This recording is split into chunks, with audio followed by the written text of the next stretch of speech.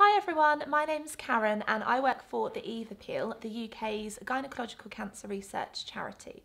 Now it's Ovarian Cancer Awareness Month and I'm joined by the lovely Dr Ellie Cannon, Hello. hello, who is a GP and fantastic ambassador for the Eve Appeal. So we're going to be shining a spotlight on ovarian cancer and asking Ellie some questions about all sorts of different subjects related to ovarian cancer. Can you tell me the main symptoms of ovarian cancer? We always say with ovarian cancer that the signs and symptoms aren't really very specific. And that's because there isn't really sort of one red flag symptom um, that we see that just means ovarian cancer. So it's really looking for a whole pattern of things. Bloating is very important. So bloating that tends to stay. So not bloating that sort of comes and goes. Or just like of- after a big meal or something? Exactly. Yeah. So bloating that actually sort of stays and is persistent. Um, you can get changes in your bladder and bowel. So some women present with ovarian cancer actually with symptoms of going to the loo a lot. Um, pelvic pain is another one. Again, that could be a symptom of a lot of different things. And then there are sort of some more general things feeling very tired, feeling fatigued, uncomfortable. Um, but that any of those should prompt a visit to the doctor.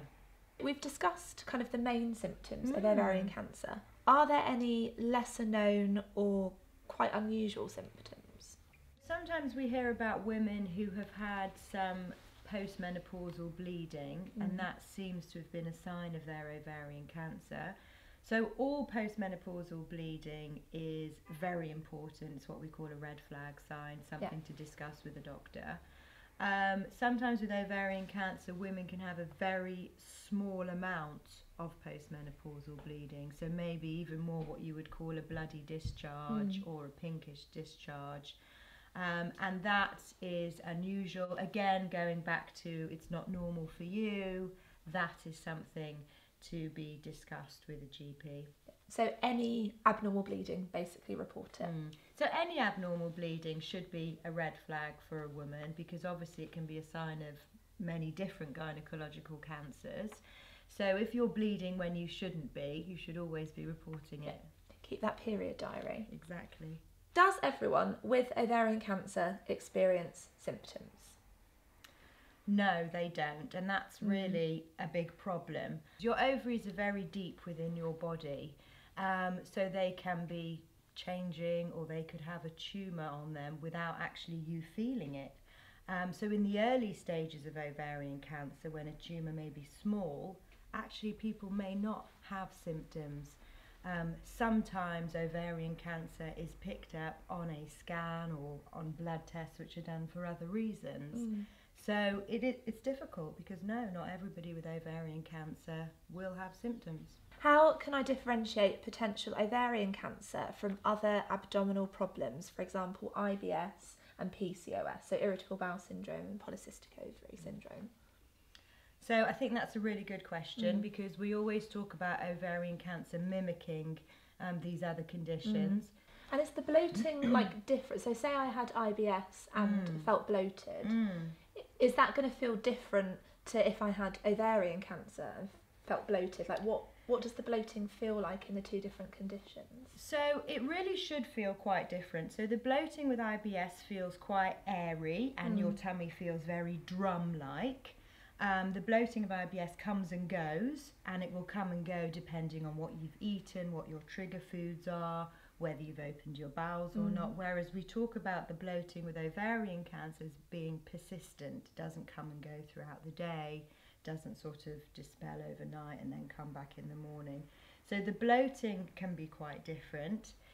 The other thing with IBS, which I think is really crucial for women to know, is that most people with IBS have it from their teen years and from their 20s. I've heard this. You don't suddenly get it. You don't yeah. suddenly get it, and that's important in mm. terms of it mimicking ovarian cancer and bowel cancer. Actually, you know, mm. you don't suddenly get it in your forties, fifties, or sixties. A new, a new diagnosis or a new feeling of IBS should really make a woman and a doctor think, actually, is this something else? Mm. So persistent bloating, bloating that just doesn't go away, is kind of one of the main things to look out for. Absolutely, yeah. Why do GPs find it hard to diagnose ovarian cancer? It's a complicated one. I think that's a really good question, Yeah. um, and I think it's really important to ask that as well to I feel bad asking you No. I I, think bad. that's really important to Yeah. ask because I, I don't see that as a blaming question. Yeah. I see that you know that you know it is an issue, and it's an issue because ovarian cancer often presents um, sort of quite quite late. Mm. Um, we don't have one great test that's very specific, and also it mimics lots of other conditions. Mm. So, if you come to me and I suspect your symptoms might fall into that category of ovarian cancer, um, then there's also a lot of other conditions that I suppose I almost want to diagnose more Yeah, for you. You'd rather tell me I've got IBS. Of course, Yeah, I'd of rather course you tell would, you yeah. you've got IBS, um, or tell you that you've got sort of polycystic ovaries, or just Mm. something much more benign. So there is that sort of little bit of bias there. Um, from a testing point of view, um, we have um, a blood test called CA125, which can point us in the right direction towards ovarian Mm. cancer and should be very accessible for GPs. Um, some GPs have quite good access to ultrasound scans, which again is a good way of looking at the ovaries, but not sort of gold standard. Yeah.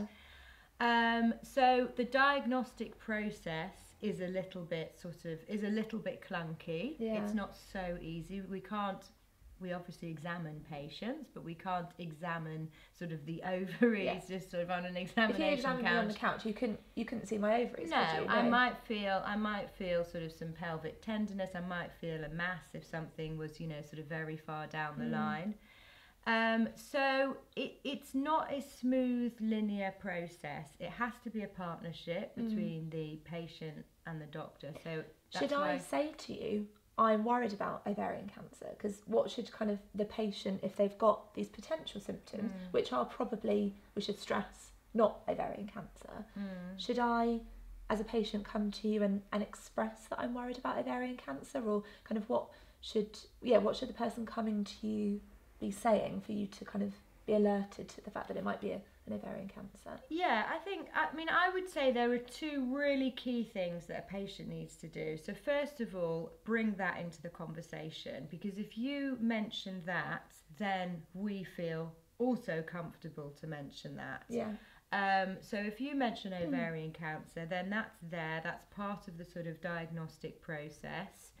The second thing I would say is that diagnosis doesn't just happen, obviously, in one 10 minute GP appointment. It's a linear process. You come in, we order some tests, you go away, you come back for those test results, then there might be some more test results if those ones have been normal. And that can particularly happen with ovarian cancer because often we're trying to rule out these other things Mm. like IBS. So you might have gone down a pathway of ruling out the bowel stuff, but you have to then be coming back Mm. And being conscientious to be coming back and saying, right, we've done that. We know that I don't have IBS. What's next? What's next? What's next? Mm.